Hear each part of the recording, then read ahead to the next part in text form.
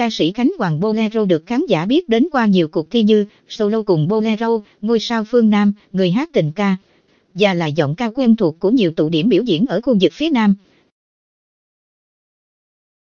Sau 2 năm ớt của thực hiện, Khánh Hoàng Bolero vừa chính thức trình làng album Dôn. Hai anh vẫn hoài yêu em. Sản phẩm âm nhạc thế hệ nhất của giọng ca chính gồm 12 ca khúc.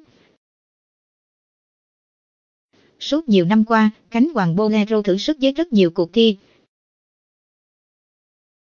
Ngoài những bài hát quen thuộc như Chuyện người con gái, Chờ người, qua trinh nữ, Khánh Hoàng Bolero cũng mạnh dạn biểu hiện những ca khúc thế hệ. Là ca sĩ hoạt động độc lập, không có công ty hay ekip đứng sau hỗ trợ, Khánh Hoàng Bolero đã gặp không ít khó khăn khi hoàn thiện vật phẩm tâm huyết, đặc biệt là vấn đề tài chính.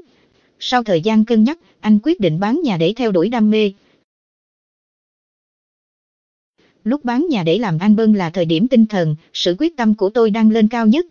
Nhiều người biết chuyện có nói rằng tôi cùng điên quá, nhưng tôi nghĩ việc đầu tư là chính đáng.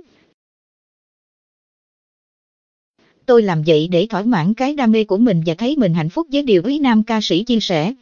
Được biết, số tiền để Khánh Hoàng Bolero chi trả cho việc thực hiện anh album lên đến gần 400 triệu.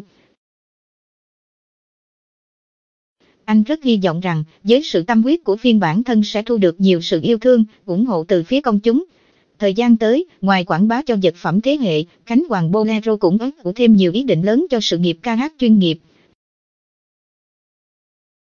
Để duy trì đam mê, Khánh Hoàng Bolero quyết định bán nhà và chi 400 triệu làm anh bân dôn. Hai anh vẫn hoài yêu em.